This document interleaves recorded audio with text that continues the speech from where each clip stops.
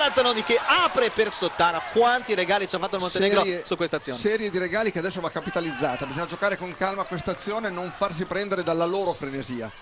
Res marcata da Perovanovic, va sull'ala da Massadri, Zanoni libera per un attimo ma non guarda neanche il canestro, va invece da Sottana con 6 secondi per un attacco molto lento dell'Italia, Sottana prova a risolvere la situazione, scarica per Dotto, Dotto da 3 punti, a Questo tiro può valere una fetta di qualificazione. Mi viene un po' di emozione a vedere una giocatrice così giovane con alla sua prima esperienza che ha una freddezza come quella che ha dimostrato Francesca in questa azione. Tiro incredibile sullo scadere di 24 secondi, fallo in attacco di Perovanovic, esulta da terra Katrin Res, l'Italia vede lo striscione del traguardo.